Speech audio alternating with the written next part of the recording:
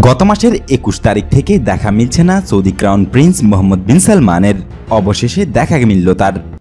অবশেষে ক্রাউন প্রিন্সের ছবি প্রকাশ করল সৌদ রাজ পরিবার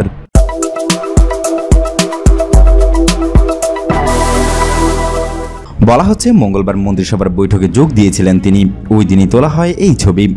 বুধবার দেশটির বার্তা সংস্থা, সৌদি প্রেস এজেন্সি বা এসপিএ ওই বৈঠকের কয়েকটি ছবি প্রকাশ করে। খবর ডেইলি মেল আল আউসাদ আল অ্যারাবিয়ার এর আগে গত একুশে এপ্রিল সৌদি রাজপ্রাসাদের খুবই নিকটবর্তী এলাকায় গোলাগুলির আওয়াজ শোনা যাওয়ার পর গত এক মাসে বিন সালমানকে প্রকাশ্যে দেখা যায়নি।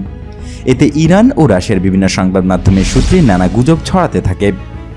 কোনো কোনো খবরে দাবি করা হয়, গুলিবিদ্ধ অবস্থায় মারা গেছেন যুবরাজ। এছাড়া অন্যান্য কিছু বিষয় সামনে রেখে অনেকেই সন্দেহের মধ্যে ছিলেন।